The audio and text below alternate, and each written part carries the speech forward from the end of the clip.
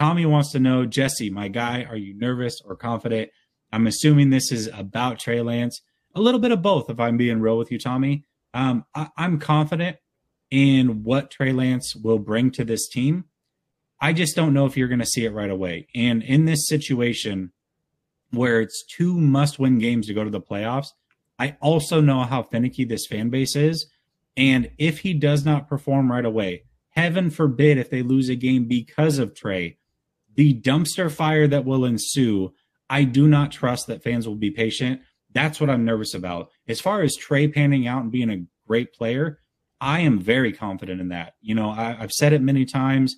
Everybody knows where I stand with Trey Lance. Into 2023, the cream will rise to the top, and Trey Lance will be there. But for right now, he hasn't played. He's being forced into a tough situation. That's what makes me a little bit nervous. So we'll see what happens. And and by the way, people are sleeping on the Texans. Texans have beaten some good teams, and their pass defense is, I, I believe, the sixth ranked pass defense. So it's not like he's coming in and playing a patsy uh, pass defense and he's going to be able to do his thing. His work is going to be cut out for him. So do not be shocked if he struggles a little bit, right? So that being said, perfect segue. Realistic expectations for Trey. I think I just gave mine. I do owe this real quick though for the donation. Tommy, thank you.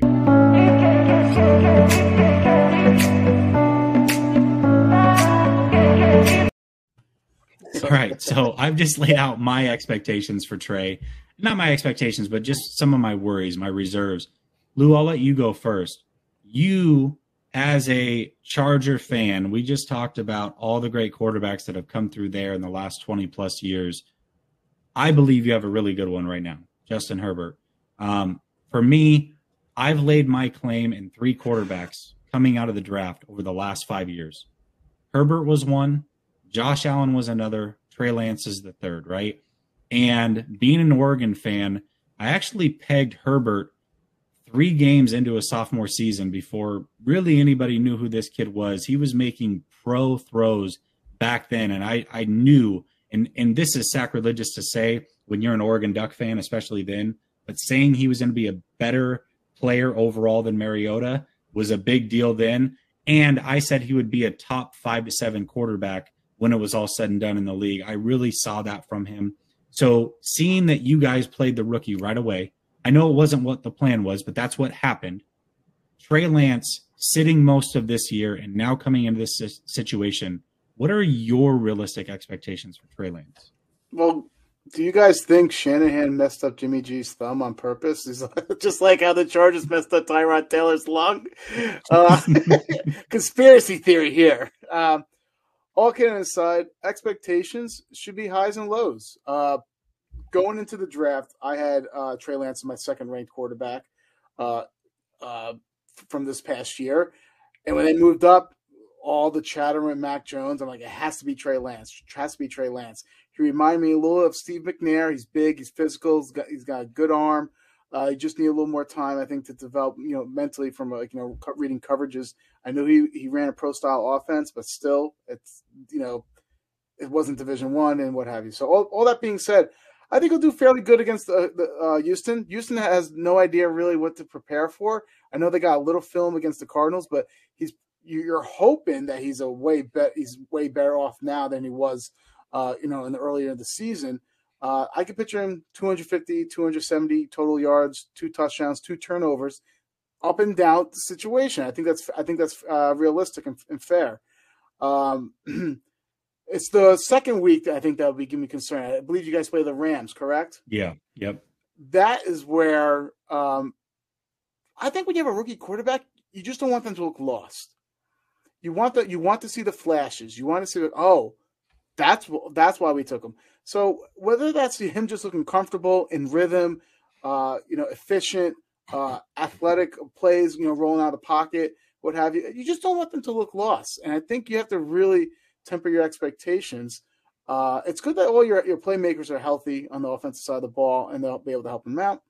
But uh, like I said, it's the first game I have no issue. I think he's going to be well because there's be limited tape on him. It's that second game that'll give me a little concern. But overall, I think Lance is the this offseason Kyle is going to be like a, a, a mad, like a scientific madman, designing all these all these plays and the options with Trey Lance. So I think you're really going to see him explode onto the scene next year. I and I actually forgot about this. Chargers just played the Texans, yeah. Yeah, and they just lose. Okay, thank you, so, Jesse. no, I'm sorry. No, I'm sorry. I know. I know. It seems like I was trying to be a jerk there. I really was. I really wasn't. It was just like, oh, I could have set that up a little bit different. Like you literally just saw yeah. the Texans defense, and and they are they're a better pass defense probably than what maybe even you expected going in. Right? It's one of those games where you're like, oh, Texans, that's that's a win. We mark that off. But reality is they're not playing bad football, and that defense, that passing defense in particular, is a good pass defense. So what about you, Weston? What do you think realistic yeah. expectations are? So I'm I'm, I'm going to look at this from two lenses, and just so you know how I, f- feel about Trey Lance, do you remember the North Dakota State hype video that they put out when he was drafted? Do you remember seeing that oh, across yeah. Twitter? Yeah, yep. I made that video. I'm in that on my reaction. That's my like literally only claim to fame ever. I love it. That's uh, and, and, his head's been so big since then. You should see him walk around since. town, man. Check it out. Uh, do you sign autographs? Is what I want to know after this. Yeah. Damn right for you, I do, sir, for sure. But it's got to be my, my, jersey with my name on it. Yes, yeah, for tell, sure. Yeah. Tell about your OnlyFans page. I don't know who listens to this, so I'll keep that out of it. So, but Jesse, I'm like you in all seriousness, like I, I, think Trey will become, you know, the cream of the crop out of this class. I think his ceiling is exponential. But like any player in the NFL, it's about situations, it's about scenarios, it's about coaching. You know, you've seen a lot of good talent flounder. I think he's on the right team. I think it was good that he was able to sit for a while and learn how to just be a pro, right? Understand what his expect expectations are from his coaching and how his predecessor is destroyed by this fan base and 49er fan base. I do love you, but you are the most impatient people in the entire world, um, is what it really comes down to. Because I agree. I think if he has one bad game, world's on fire. Like literally, world's on fire. Everybody's bring back 10 or draft another quarterback or whatever it is. But immediately, what do I expect? Honestly, I expect him to struggle. He's a rookie. It's his second start against a good pass defense that's on a roll a little bit right here. Like, you know, practice looks a lot different than games, right? The, you know, in this day and age with, with COVID going on, you barely even practice. You don't contact each other. You're in meeting rooms. You're on Zoom meetings. Like it's not happening. Um, the game moves a lot faster. Um, I would say you know, our only exposure to Trey was in Arizona, where actually I thought he played relatively well. If you go, if you went back and watched the tape for a first time starter, no, no best offensive weapon in George Kittle. Aiyuk was literally still in the doghouse at this point in time. Like, what was he to do? And I know there's 16, 16 runs, blah, blah, blah. Not all those were designed runs, right? Would I like to see him not run as much? Yeah. Like he's, he's still young. I want to see him be mobile in the pocket, but all the things that make a good quarterback developing your rapport with wide receivers, getting through your progression confidently, um, reading defenses pre snap. We talked about the motion that, that Kyle does. All that takes time. That does not happen overnight. And that's why some pundits wanted him to play immediately because the more repetition, right? They're using Justin Fields and Trevor Lawrence and Zach Wilson as the example of like they're getting this under their belt now. But you know what? Those teams had no expectations. This team had t- entirely different aspirations and expectations of their football team. But everything that makes a good quarterback takes time. It's not going to happen in his first week out there. I agree with Lou. If we see somewhere north of two and a quarter from in a from a passing yard perspective, a couple touchdowns with a couple turnovers, that is actually success, right? And you have to remember he's uber athletic, right? So in those breakdown scenarios, I just want to see him use his legs a little bit. I want to see him slide. I want to see him get out of bounds. I don't want to see him take hits. But if you think he's coming out here and lighting the world on fire, you are literally kidding yourself. Like that is not going to happen. You mentioned Jimmy's a net zero quarterback. What I define that is he doesn't win you the game. Hopefully he doesn't lose you the game, right?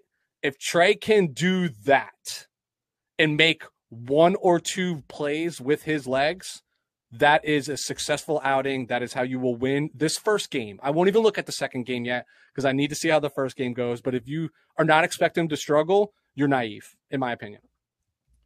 Yeah, I'm I'm right there with you, and and um, I, I love what you said there. If he can just be a net zero quarterback, that would be great.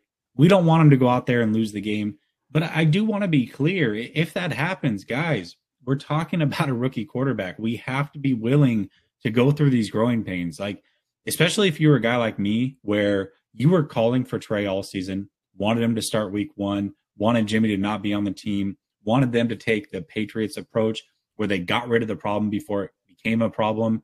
That's what I wanted to see happen. So if you're like that, or you've been calling for Trey all season, you have to know that growing pains are going to happen. You have to be patient. It's not about this year. As much as we want the 49ers to make the playoffs, yes, that would be fantastic, especially if he could go in, get some playoff experience, maybe play well, maybe even win a game. I would love that. But it's not about this year. We're looking at the future for Trey Lance. This team was never going to win a Super Bowl this year. It wasn't going to win it with Jimmy. So the expectation can't be that we're going to win it with Trey Lance. These are his first starts. And as far as what what Christian says here, what can Kyle do to set him up for success? Run the ball. It sounds like Mitchell should be back this week. You've got a healthy Jeff Wilson Jr. Those two running backs can get it done they should shoot for 40 plus run attempts like they did against the Rams. Make this game easy for them. In my opinion, another thing they can do, which they did almost none of it, get them out on bootlegs. Let them make easy reads. Cut the field in half, give him a high low read, and allow him to run the ball as an option. You do that and make the game easy for him, it's going to look easy for him. And he'll probably look better than what he actually is at this point. I believe that Kyle Shanahan can can definitely dial it up. I'm a little bit nervous about the offensive line, knowing that Trey's a mobile quarterback. We saw quite a few penalties in that Arizona game. They've gotten used to playing with Jimmy G. So now that Trey Lance is playing, can they hold up? Do they know when he's going to run? Do they know when they need to protect him and hold versus just letting a lineman go and let him make the play? So I think that's going to be one of the bigger growing pains that nobody's talking about. People want to talk about Trey and what he brings to the game. People want to talk about his athleticism and all these things, and can Kyle coach him up and, and all of that. Is this offensive line ready to play with a mobile quarterback? I think that is going to be possibly a bigger issue than all of it, to be real with you.